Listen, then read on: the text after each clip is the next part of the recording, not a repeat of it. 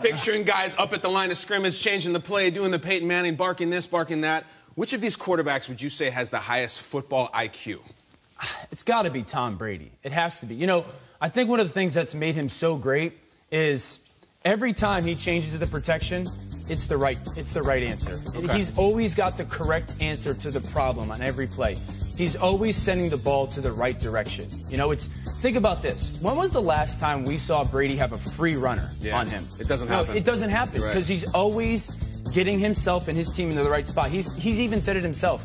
He's figured out defensive coordinators. I mean, Dick LeBeau was one of the defensive coordinators in the NFL that no one figured out for four decades. Mm-hmm. Brady said he figured him out, you know? And so I look at it like this. They say to, to master something takes 10,000 hours. Right. Yeah, sure. Right. Well, right. Brady became a you know full-time starter in 2 mm-hmm. So if we do 180 days a year that he's studying football, Talk about which it. is probably a low number, right? right? Yeah. Five hours a day, which is again probably a low, low yeah. number. It's 900 hours a year. Simple math. In about 12 years, Brady's mastered the quarterback position. So take away the year he was injured. By 2015, he fully Gladwell talk. Okay. Outlier. Dan, you're the best. That was incredible. that, that was great. Yeah, so I, I, just, it's Brady. I mean, we just never see him, we never see him surprised by anything. Wow.